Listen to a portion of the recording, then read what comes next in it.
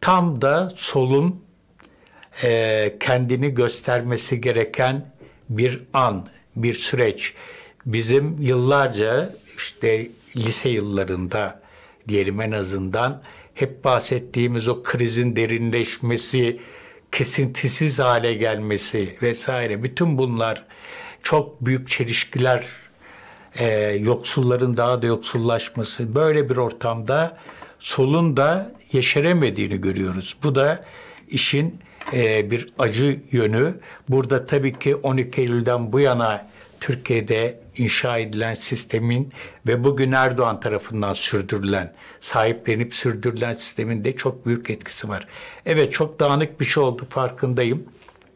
İyi ki ekonomist olmamışım. Allah ekonomistlere sabır versin, e, dirayet versin ve e, Türkiye umarım en kısa zamanda bu badireyi atlatır diyeceğim ama açıkçası bunun nasıl atlatılacağı konusunda herhangi bir şey söyleyebilecek halde değilim. Ekonomistlere sorarsak güvendiğim insanlara sorarsak söyledikleri şeyler var ama onun şu haliyle bugünün Türkiye'sinde Erdoğan Bahçeli ittifakıyla onların yapılabilmesi mümkün değil.